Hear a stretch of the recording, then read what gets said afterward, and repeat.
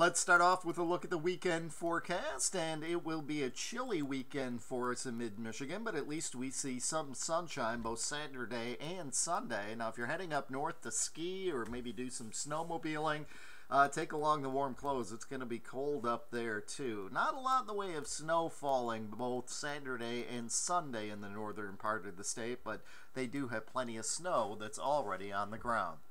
Well, across mid Michigan today, we may see a little bit of patchy fog early on today, and then as the day progresses, a couple of flurries or light snow showers are possible.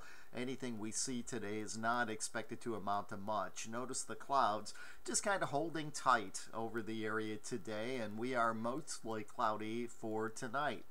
Now we go through the day on Friday, and uh, we will end up being mostly cloudy once again. It'll take well into Friday night or early Saturday morning before we see some clearing move our way.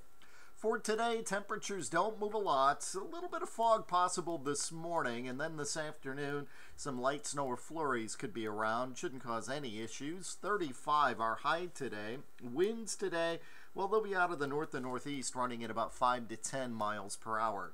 For tonight, we do drop back down to 16. We are mostly cloudy tonight, mostly cloudy on Friday, a high of 22.